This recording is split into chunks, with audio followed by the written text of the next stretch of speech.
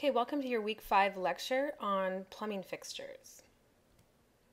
Now, there are many aspects of bathroom design that are controlled by ADA, the Americans with Disabilities Act. The ADA does not apply to private residences, but many designers do consider these guidelines for the future needs of their clients. Many apartment communities will design units for easy modification, like as you can see in this photo, placing extra blocking, these boards here, inside the walls so that grab bars can be installed down the road. It is the responsibility of the interior designer or the architect to select plumbing fixtures and then provide the specifications and rough-in information to the engineer or the contractor. Now, generally, for a residential application, you will be selecting those things. Maybe for more commercial applications or more industrial applications, the architect may. Uh, that's something you do need to clarify with your client and the architect during or at the time of the project. The technical word for toilet is water closet. It's notated on plans as WC. The toilets that we're, we're familiar with have emerged around 1940 and initially held about five gallons of water. So when you press the lever here to flush, this flapper, this thing that covers this hole down here on the toilet, releases the water and it cleans the bowl. So it took about five gallons of water to, you know, clean this bowl from all the stuff that was put in there. That's why there's so much water used in toilets. Toilets could have a uh, round bowl or an elongated bowl. Generally, elongated bowls will uh, extend up to 31 inches from the wall, while round toilets will extend about 28 inches from, from the wall. Here are some standard ADA dimensions. These are some dimensions that you're definitely going to need to become familiar with as a designer, especially because they're on the NCIDQ exam. And this is just showing you, this is in your book, and this is just showing you where grab bars should be installed, and how high toilet seats should be, how high the toilet paper should be, um, how far away from the wall, uh, so on and so forth. So there's actually in your book, there's a plan view as well. But basically this, the grab bar that's on the, the uh, wall side of the toilet can, has to be at least 12 inches from the wall and can be no longer than 42 inches long. The toilet paper here on center needs to can be a maximum of 19 inches from the ground. The top of the toilet seat in an ADA situation should be about 18 inches. For a regular standard toilet, you're looking at about 15 inches. Now here you can see the toilets from the past used about five gallons. Now we have these great high efficiency toilets. And as an interior designer, you can encourage conservation and water savings through the, fixtures that you select. Here's an example of a dual flush toilet from Kohler. This dual flush device that's located at the top of the toilet is used when you want to go number one or you want to go number two. So this releases a smaller amount of water and this releases a larger amount of water. These are pretty common in, in Europe currently. Now a urinal will take up less space than a water closet, about 18 inches of width, and can be substituted for one or more toilets required by code. One typically, however, must comply with ADA and be hung lower than the standard.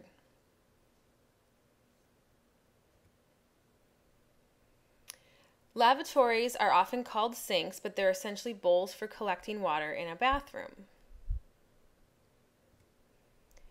For sanitary mm. purposes, the sink should be made of hard, smooth surface that's scrubbable, like uh, porcelain, stainless steel, and um, any resin based solid surface or glass. Other materials could be vitreous china, steel, cast iron, marble, fiberglass, acrylic, anything that's not going to be affected by water and uh, grow bacteria.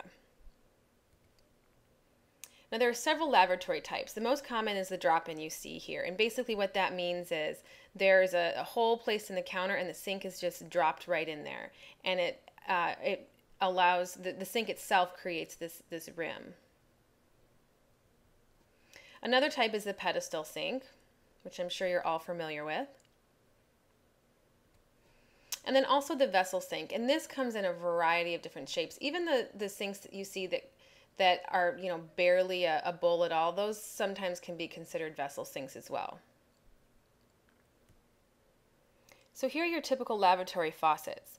The 4-inch center set model installs on the top of the lavatory fixture with um, mounting bolts that are passing through the holes that are set here at 4 inches apart. Most lavatory faucets are also furnished with this sort of pop-up drain assembly. The wide spread, or also called spread or spread centers, uh, is a concealed design which has considerable popularity across the country. Manufacturers typically offer this in a two handle version, and it's popular because of its decorative look, and they can be installed with the handles positioned at wider inter intervals than this one will allow. This is also commonly furnished with this pop-up drain assembly. Now, rather than mounting the faucet on the sink, deck, or the counter, the wall mount then installs directly into the backsplash or the wall. Now, this isn't true for all public restrooms because this is a, a more recent requirement, but they should have self closing faucets and aerators inside to conserve water and energy. The maximum flow rate should be about 1.9 liters per minute. If you ever go into a public bathroom and you're forced to turn the faucet off, it should feel a little bit awkward to you because that's not very common anymore.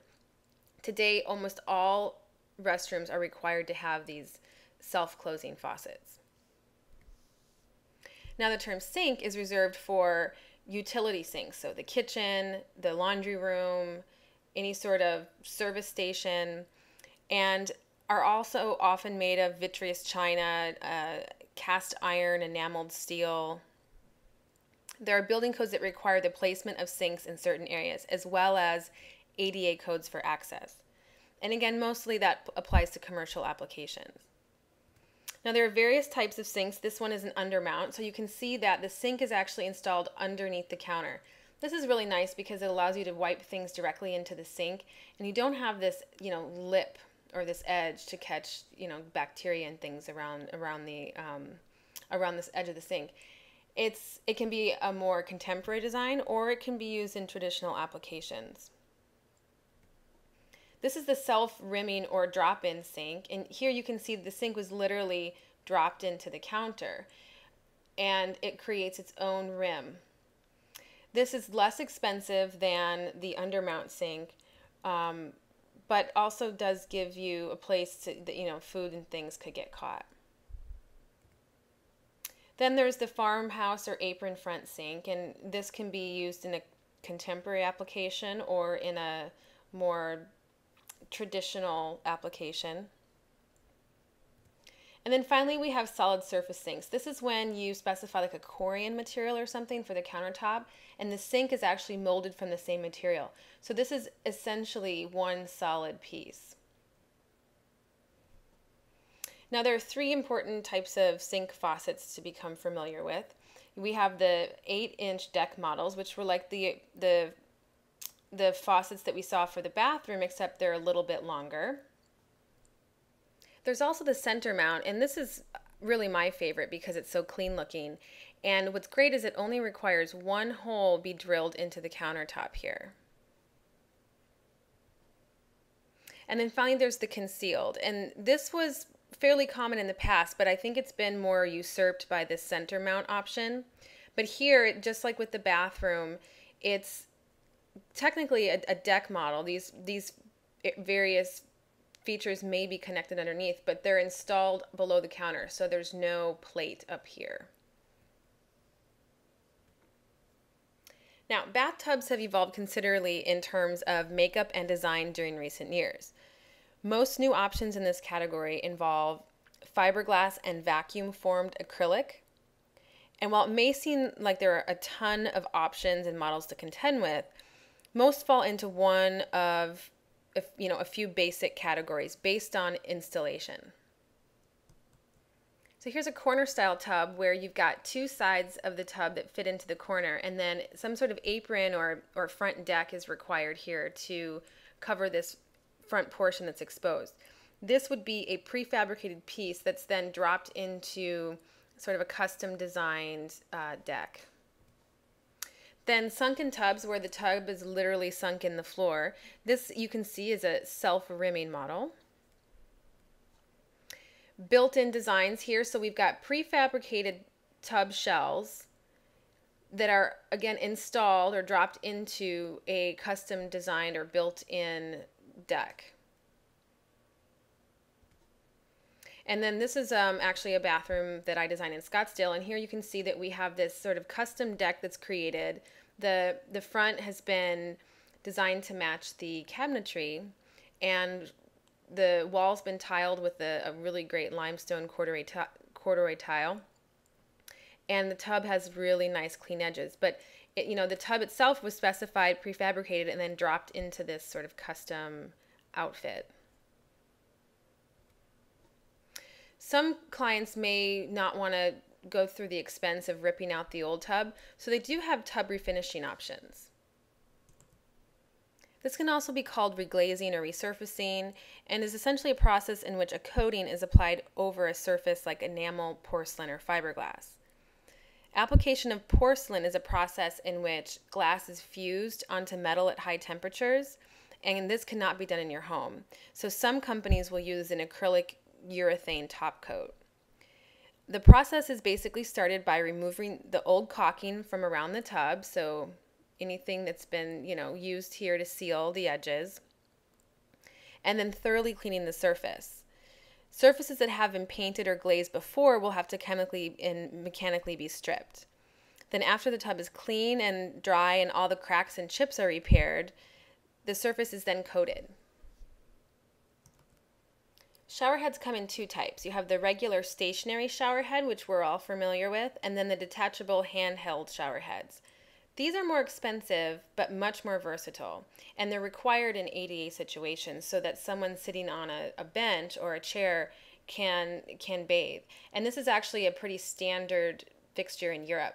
I actually in my in my bathroom in Greece, in my first place before I knew Dimitri, this is what we had, and there was no hook on the wall. So I actually had to hold it the entire time I took a shower.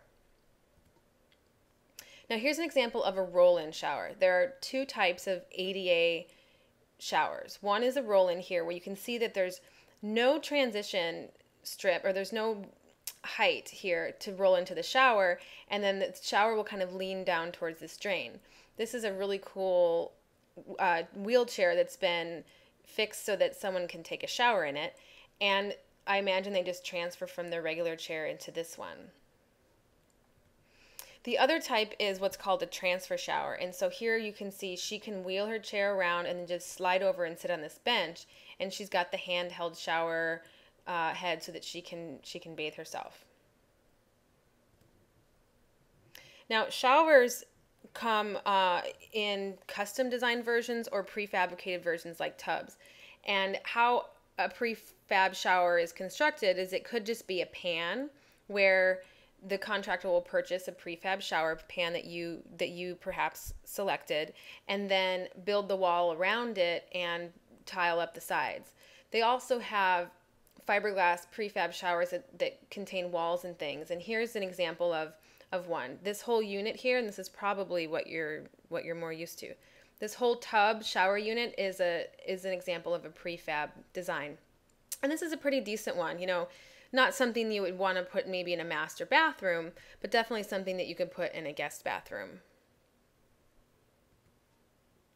Here's the custom shower next to the the tub I showed you at this home in Scottsdale. So this was completely custom designed. It's a steam shower, so you can see that this glass door has been completely sealed and a, there was a bench added and um, not only is there a detachable shower head and two standard shower heads but there's also a rain shower head above all right so in the next video i'm going to go over several things i want you to consider when designing a bathroom but first i'd like you to study the figures um, figures 8, 17, 8, 18, and 8, 19, and become a little bit familiar with standard bath dimensions, and then you can watch the next video. It's just going to be a few minutes long.